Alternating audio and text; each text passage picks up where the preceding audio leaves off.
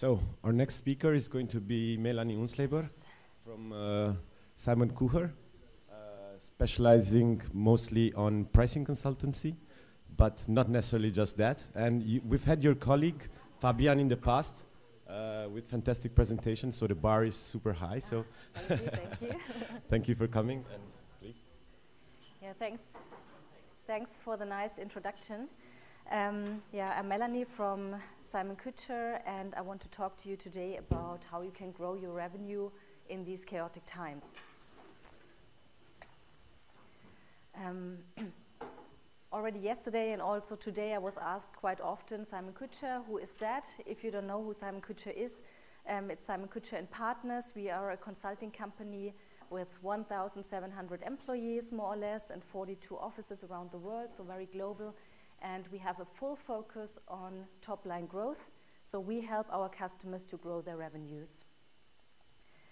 And um, I am working in our software and internet department, and I'm fully specialized on online platforms. And here on the left, you can see some of our clients, and on the right are some projects, typical projects. So we um, often deal with growth strategies. How can we grow our business? Where should we expand to? Um, we often talk about offer and pricing adjustments, packaging topics, um, but also things like market sizing um, or commercial due diligence, cooperation between platforms, and so on. Um, the last time that I talked at a conference was um, 2019, so autumn of 2019. And um, before that, the time was very, or the, the conditions were very stable. So um, it was very dominated by growth. We had a strong growth, typically in most of the markets, growth of listings, growth of traffic, growth of prices. And to be honest, it's not so difficult to grow your revenue in these conditions. But that changed a lot. And I do not want to go too much into detail here because I think most of you remember quite well what happened in the last two and a half years and also um, what still is going on. Um, maybe a little focus on cars and real estate. Um, in, at the beginning of the COVID crisis, um, the demand dropped significantly. So there was huge insecurity. Nobody wanted to buy a new car because they didn't know whether they may lose their job or not. So the demand dropped a lot. And um, yeah, of course, we also had some, some lockdowns, so some dealerships could not um, open up, demand down, and the, there was a huge crisis also among the dealers. And most of the platforms, of the car platforms, reacted and they gave huge discounts to their customers, to the dealers. And of course, you can directly see this in the revenue. So here, for example, Auto Trader revenue decreased year over year by 32%. And we see the same for CarGurus. Also here, a huge drop in the revenue. And they also lost many dealers, 10% of the dealers, um, and they have really hard time recovering that now. That was the situation at the beginning of the crisis. Now it looks a little bit different. After the demand shock, now we have the supply shortage. So um, the OEMs could not produce anymore, spare parts were missing, were hanging somewhere in, in China or in, in Shanghai. Um, of course, if you cannot sell new cars, which you can see here, new car registrations went down. If you cannot sell any new cars or if you cannot buy new cars, then you also don't sell your old car. So also the used car registrations went down. And of course, this is an issue for our car platforms because the number of listings decrease a lot. Numbers went down. On the other side, typical market reaction, if the supply goes down, the prices go up. And this is what we see here. Used car prices increase significantly. And in the end, for the dealer, for our customer, this is not the, best, uh, the worst situation, right? So they do not um, have to give so many discounts. Their margins get, went up a lot, and they actually make quite some money. That was situation in the car area. Now, if we look at property verticals, there the reaction was not that clear, so the platforms reacted a little bit differently because we also had a discussion yesterday. Um, some in some markets there were not so um, huge changes for the agents, and actually there were no reasons why we should decrease the prices, um, because they could continue with their business. Um, in other markets, Rightmove, I think many of you know this example. Um, they had to give huge discounts. They hesitated at the beginning, but then they had to give huge discounts. And again, we see huge revenue drop. On the other side, ImmoScout in Germany, they were not giving too many discounts, um, mainly discounts for privates, and they were able to keep their revenue at least. Not much growth, but at least they were able to keep their revenues. Um, transaction-wise, so if we look at the supply, um, we always, so in the real estate area, we also, we, all the time we had a supply shortage. The demand was always much higher than the supply. Um, but the supply, after going down a little bit at the beginning of COVID, now we can see that the supply goes up a little bit again. So the supply is increasing, but on the other side also because um, there is much more demand than supply, the prices go up. They go up a lot. And again, actually a good situation for the agents. Um, but now with the higher interest rates, and we have this on the bottom on the right, um, with the higher interest rates, it's not so clear what happens now. Um, higher interest rates means many people might not be able to afford a house anymore, so the demand could go down. On the same side, the supply on the market could go up because maybe some um, credit uh, or some, some fin financing um, does not work out anymore, so the houses come to the market. So let's see what happens there.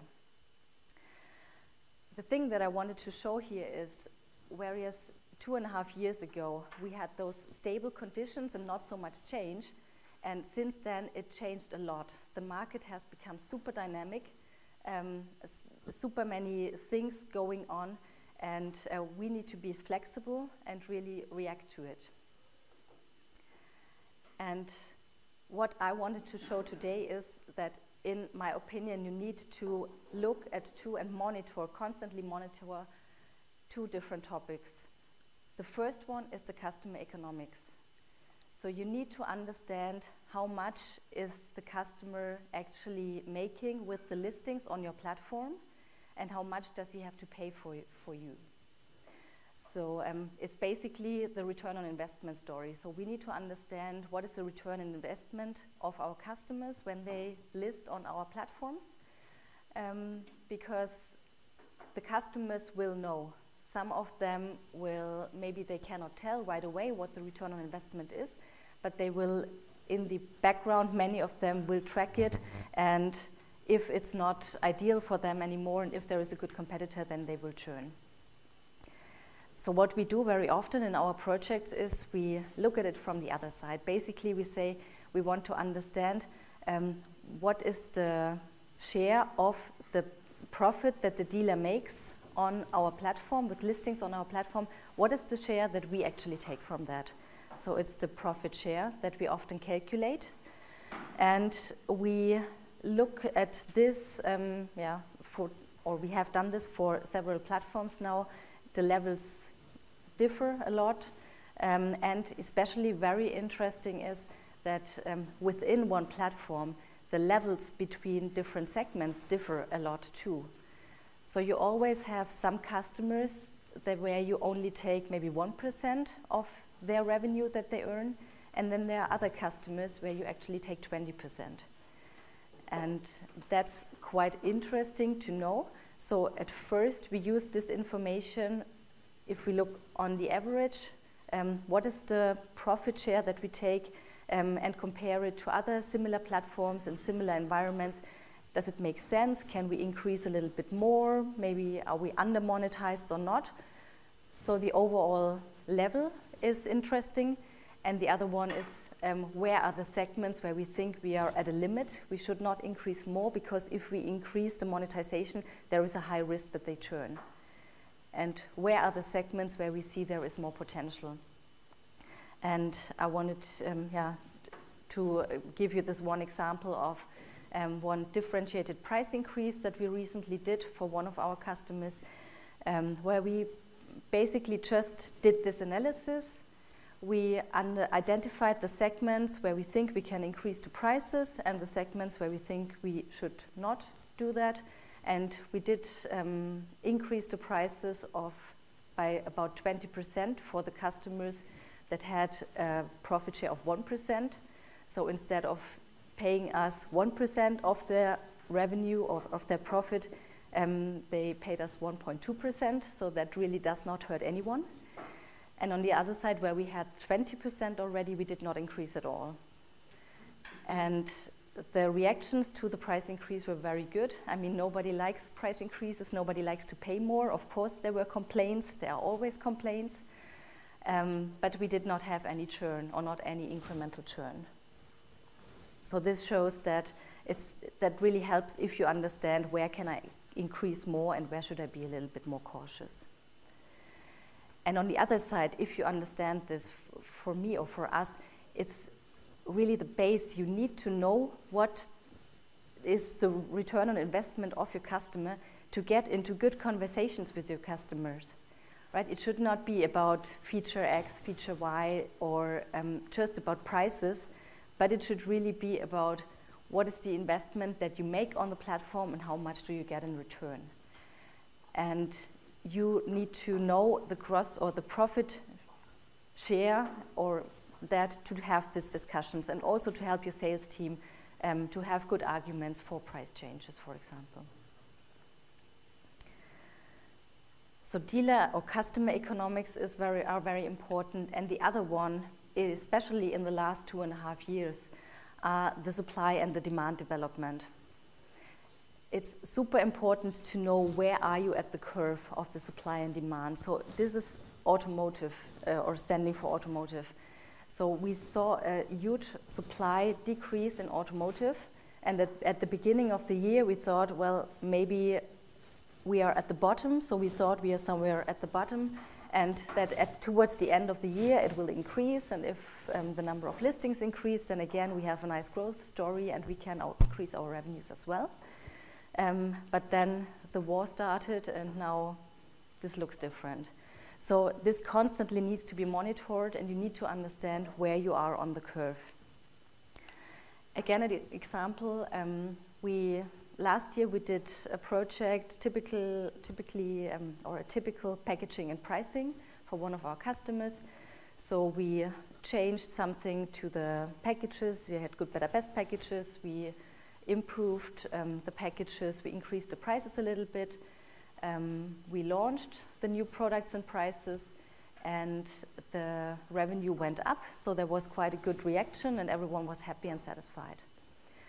What they did not see that was that in the background, the customers tried to downgrade their slots because they did not have enough inventory. And of course, on the one hand, if if we change the packages and prices and we increase the prices a little bit, then the customers, the dealers or the agents try to save money somewhere else. And um, the first thing was they tried to see where can I save and they downgraded their slots. Um, but the platform didn't see it. So there were some signs and they saw that something is going on, but they did not see the extent. And um, it was quite significant, the downgrade.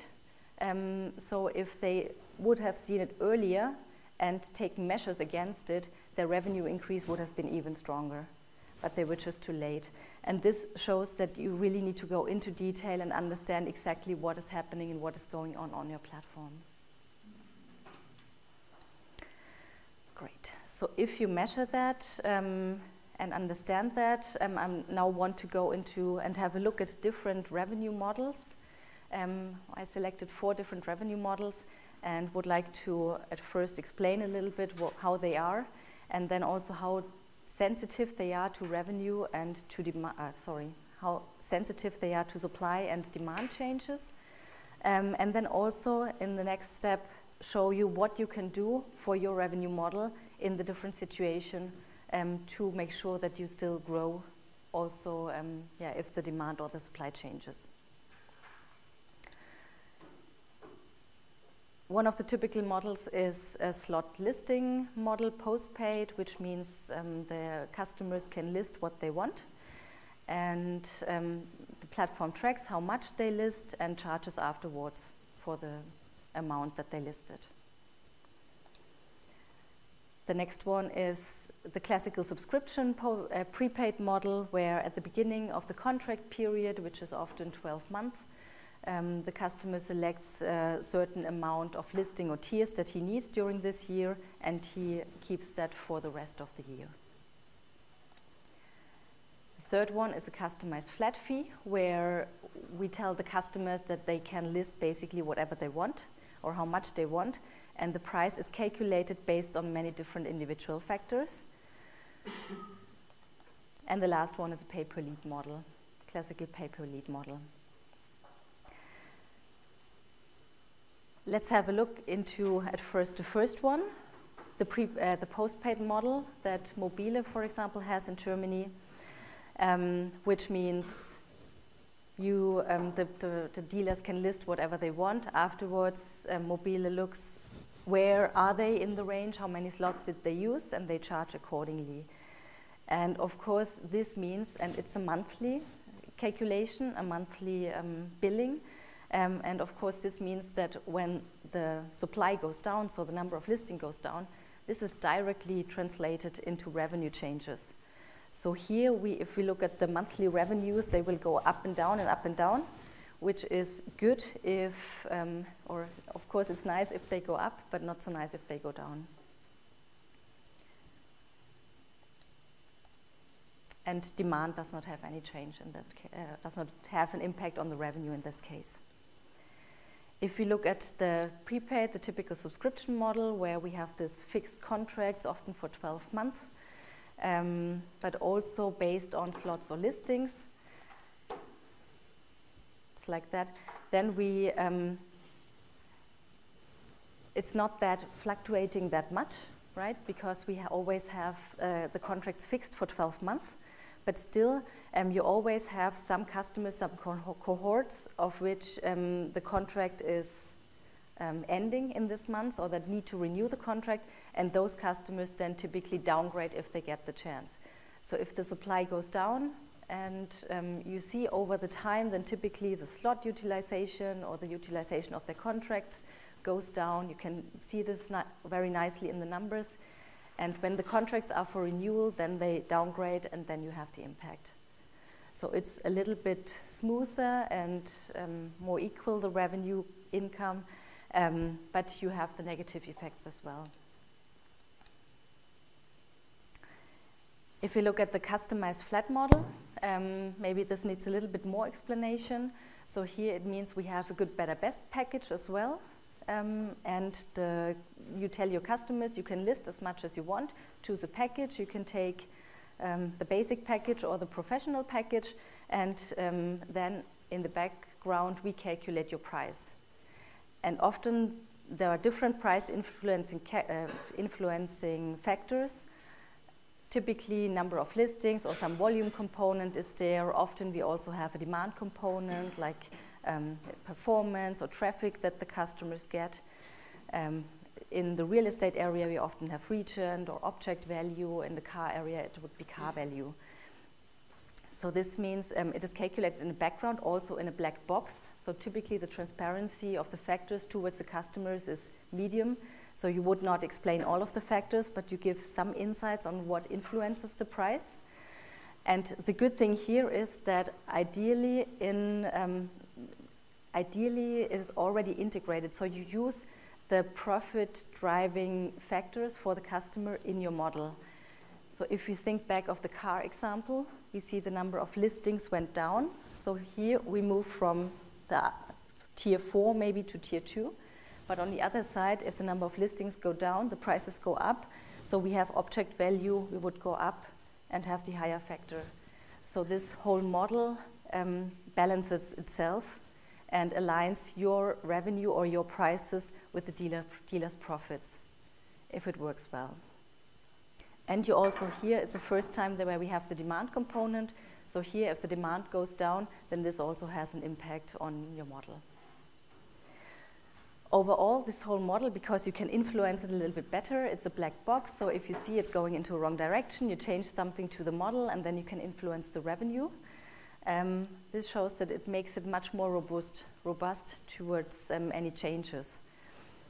So on the right, the ImmoScout example, um, ImmoScout Germany, um, and I just looked in, into one of their financial statements um, where you could see that the number of listings decreased and also the traffic decreased, and they also showed it um, in the statement.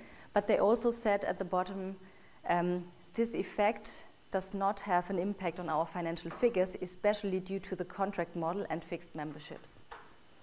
Right. And also, if you remember what happened to ImmoScout, I showed this example before, they were the ones that could even grow a little bit during the COVID times for sure also has other factors. Pay per lead model, um, here we have, um, this is, is very, very sensitive towards both. So if you don't have any listings, then of course you don't have any leads, so your revenue goes down. But also, um, if just the demand goes down, then you also have a problem here. So um, in this case, like car sales, um, it's very, very sensitive to all changes to demand and to supply. All right. So next and last part for my presentation, what can you do? Because actually I know that many different platforms have different models and decided consciously to take this model or the other model. And we have seen now that some are more sensitive to the adjustments than others. Um, but still for all of the models, there are ways how you can adjust it what you can do when you measure and see that the demand goes down, the demand goes up, the supply goes down, supply goes up. So here are some examples for the first one, where we have the postpaid model, which is very sensitive to, supply changes.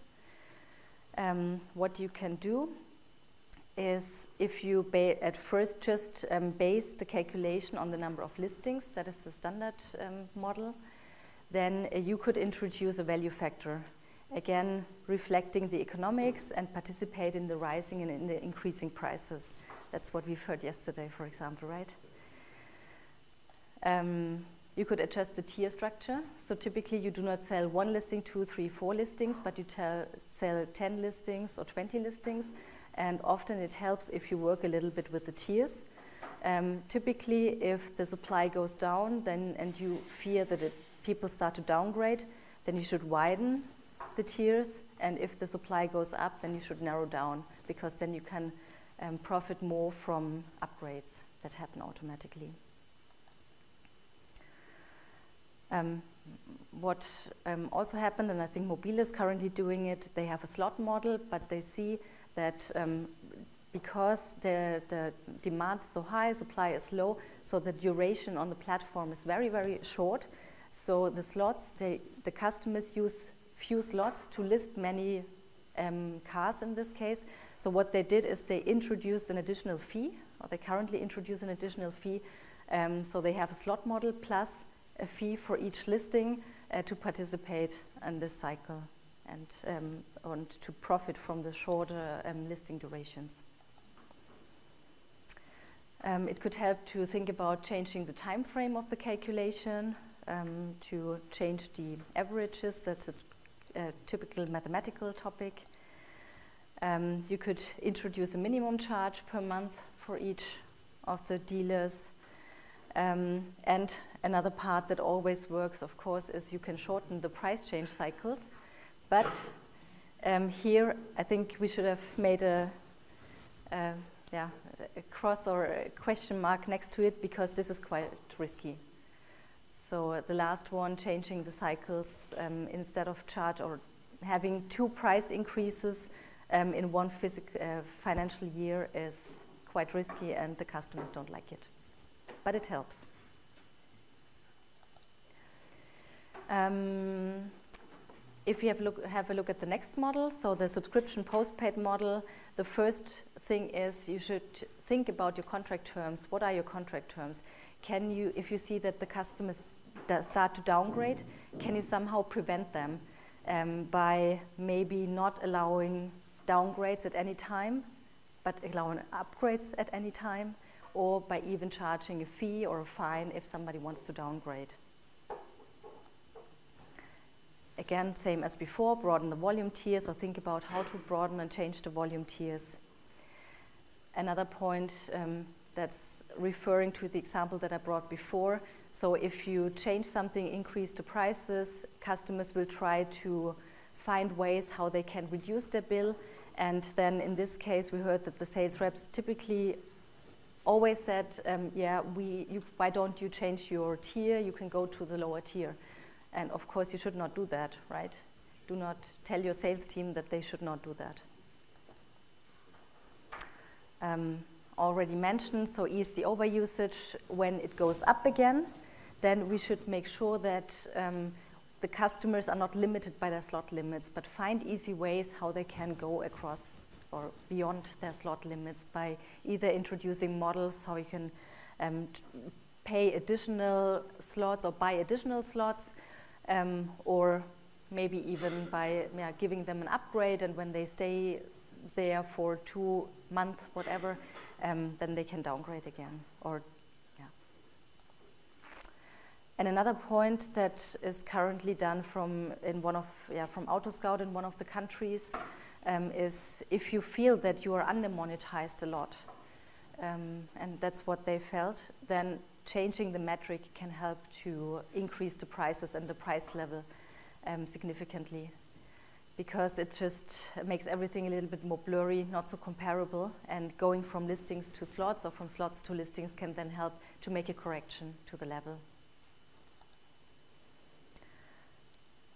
For the next model, I don't want to say too much because, um, as I said, ideally it's already aligned. This model is much easier to manage, not easier to manage, but um, um, it's not so, not so um, influenced by supply and demand shortages or changes, um, but it is um, ideally it's already built into the model. So ideally you don't have to do anything, but the model regulates itself. But um, of course, you need to check it and manage it if you need to adjust some of the factors.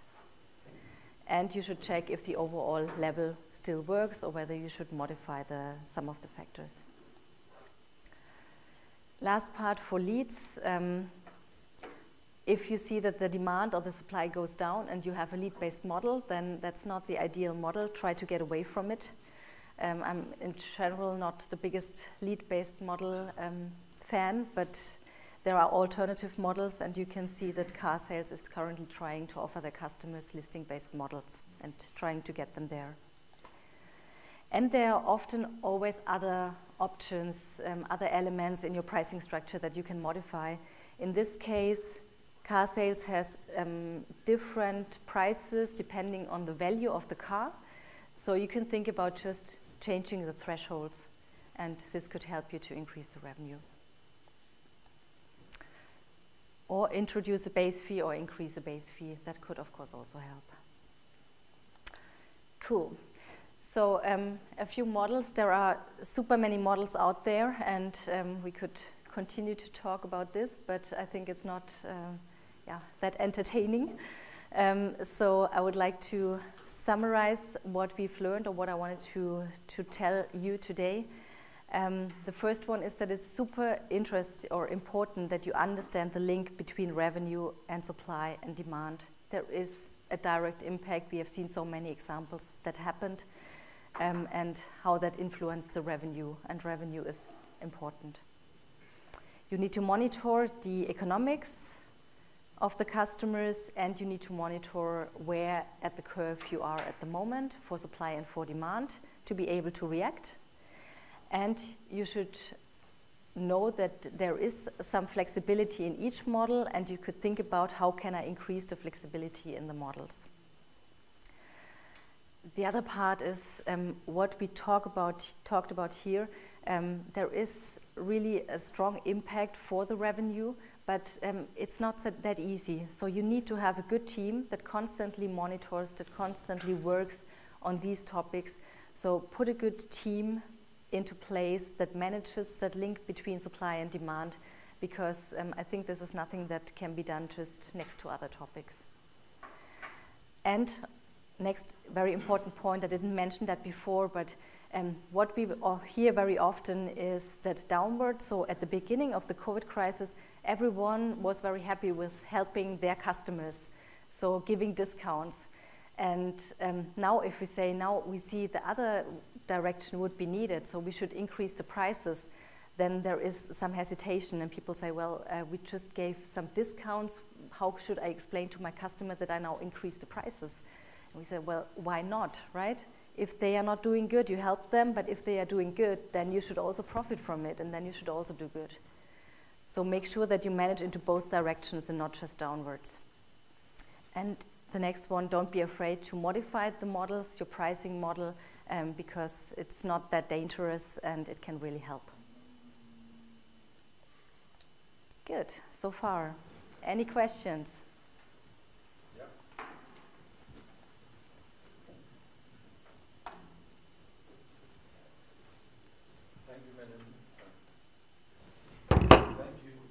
um, I just want to ask, I get this, but I just want to ask a few uh, reality questions as mm-hmm. well, because in a way this will work great if you're a market leader and you have a, a powerful dominance in the market, then this works very well. But uh, in my case, uh, we have um, a few verticals. Some we are a market Mm-hmm. Um, and we got away with it. But some, we are not a market leader, and if we try to do this, um, they would just laugh at us. So, what is this? What do you mean by this? Increasing revenue, yeah. taking it away, playing with um, the. I mean, your whole presentation of how to adapt in changing times, and in this case, the downward spiral and then managing it back up. Mm-hmm. So if we had played with our revenues and then um, uh, to this extent, uh, it wouldn't have worked because only our, only our, the, the market leader could have done that. Mm. So I think the question that I'm asking is, what do you say um, to someone like me mm. who is not a market leader and doesn't have the luxury to put into practice this theory? Mm. I actually think that this does not only um, it's not only relevant for market leaders because we also have both we have market lead, uh, leaders as customers, but we also have um, customers that where we see a duopoly or um, that are followers even. Um, I think still it's super important that you understand the economics of the customers. Um, it, it's important to understand what is their return on investment, and this gives you a chance. Also, maybe try to compare it to your competitor and um, think about what do I think, what is the return on investment with them, what is it with us, and where are we. And um, also all the other measures. So of course it's a little bit more difficult if you're in a competitive situation. Um, but if you see most of the things are not even seen by the customers. So I would say if you are in a strong competitive positioning, then doing the, some moves like um, reducing the cycle of price adjustments maybe would not do it. Or um, introducing an additional fee on top, um, yeah, be careful, maybe test it with some customers. But there are other things in there that you can definitely do. Many things that your customers won't even notice. So if you change any thresholds um, within your system somewhere, it's typically not noticed. Or if you change something. So there, and also contract terms, there are many things that are not very obvious to the customers, and this is a nice thing about that.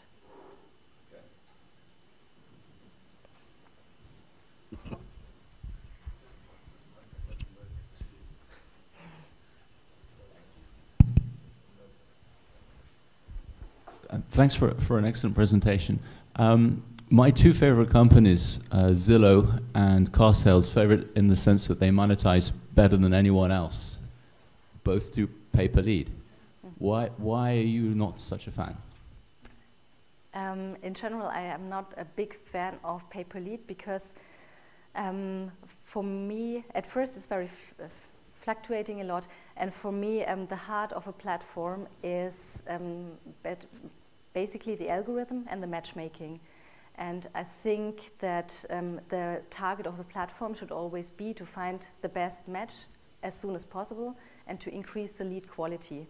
So um, if the platforms work towards that, towards increasing the quality and decreasing the quantity, uh, but you charge for the quantity, for the lead quantity, then this means that you charge for a decreasing um, metric and you have troubles and have to increase prices afterwards.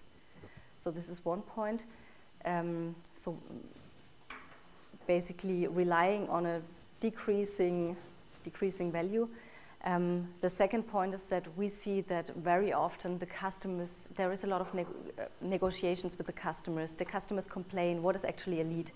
So if you talk about leads and want to sell leads, um, you need to have a process behind it to make sure that there is a high lead quality um, and also yeah, that you, your customers need to trust into the lead quality. Um, and yeah, often this creates, if we talk about custom or platforms that currently have a typically typical slot or listing based model, at first many of them cannot even measure the leads. That's the first um, problem. Um, and then their customers won't accept it. I, mean, there are there are there are even technology vendors that that that sponsor the conferences, which do very good services. I'm not going to plug any of them because I'm, I'm, I'm not involved, but but which are very good at capturing those calls and dealing with with um, contested points. And I think the other thing to rem to remember is there's also ability to to price leads above a certain quality threshold in terms of you know, so, so qualification. So if for operators that can have the resources to, to do that kind of automized follow-up and who um, are also able to, to, to monitor leads quality, would you then be more enthusiastic? Yeah, yeah okay. definitely. So I would say it's mainly, um, my hesitation mainly comes from um, seeing the problems that rise when you move from a slot listing-based model towards a lead-based model um, with capabilities of the platforms and um, also the flexibility of the customers to accept that. Because in every survey, everyone says, I would like, they say they want to be charged for a transaction, yeah. so even going further, but they also, of course, all customers also like leads. Um, so dealers, real estate agents, they also like leads. Um, but if you then try to go and implement it and go into detail, then it becomes very difficult. Any more questions? So one very quick one from my side. Um, I'd be interested if you've seen platforms that moved from a listing model or a slot model to a, a model where they take transaction uh, commission successfully, because we've really looked very attentively and have not seen many. Yeah, it's tricky.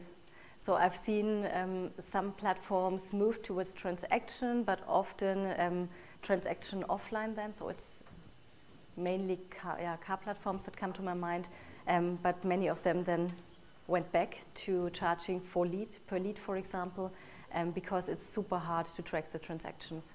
And there are some mechanics behind it. So I think if you, again, if you have the perfect environment, if you have um, other systems and tools that help you to identify when a transaction happened, um, then this could, could work, but otherwise not. And there are always some examples. For example, um, I think it was uh, well, Car4U in Switzerland, um, where they were they, and they always say that it was a success. But if you look a little bit deeper, then actually it was not. Right. So they had a transactional model, but um, in the end, um, many of the transactions were cancelled afterwards, and yeah, it was just revenue-wise not really attractive. Thank you.